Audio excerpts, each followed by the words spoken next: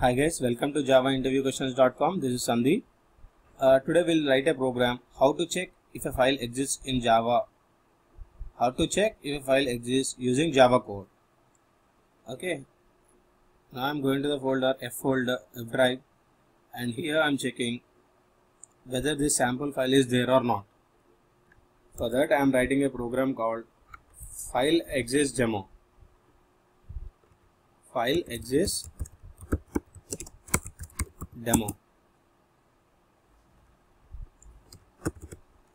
I am writing a main method.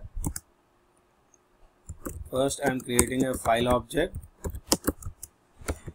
and here I am giving a location for file object.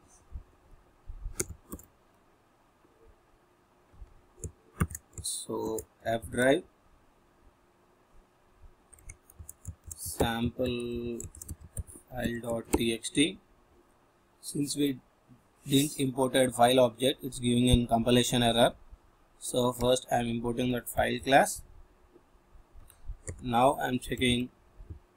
In file class we have a method called exists which will return true if the file is exists at that particular location. Otherwise it returns false.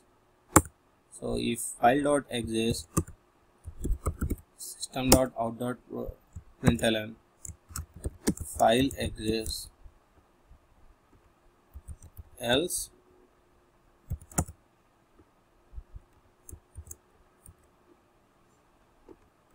System.out.println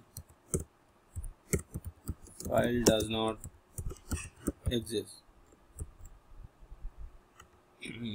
So first what I am doing is I am giving the file location in the F directory. So if the file in the F directory if we have sample file.txt the output will be file exists. If it is not there output will be file does not exist. So now I am running this program.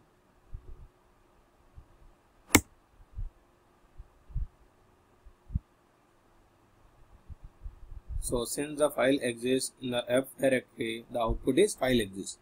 Now I am going to the F directory and I am deleting this file. I am deleting this file and now let us run the program. Whether uh, output is file does not exist or not and the program is working correctly. So the output is file does not exist. So this is how we can check whether the file exists at a particular location or not. Hope you understand this video. Thanks for watching my video. If you like my videos don't forget to subscribe to my videos